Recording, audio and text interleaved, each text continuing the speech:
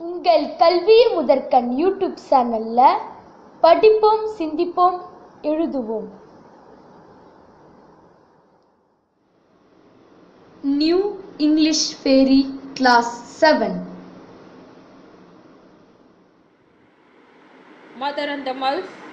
Question B. Answer this question in 30 40 word is Question 1. What condition was the speaker's mother in when the speaker found her? When the speaker found her mother, she was extremely frightened and was perched up high upon the kitchen sink. She was squealing like a baby bat and whimpering like a baby. Question 2. Do you think the speaker was amused to see her mother in this state of fear? Give reason to support your answer. The speaker must have been amused to see her mother in a state of fear. Mother had never been scared for darkness. As thunder, she would never squeal or faint. Now she was terrified of mouse that had entered the house. Question 3. If you had to give the poem another title, what would it be?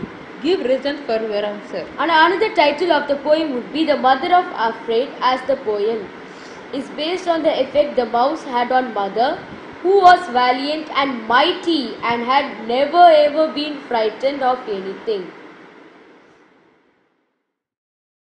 Video பிடிச்சிருந்தா மறக்காம like பண்ணுங்க share பண்ணுங்க subscribe பண்ணுங்க. கல்வி முதற்கண்ணில் bell icon press பண்ணுங்க.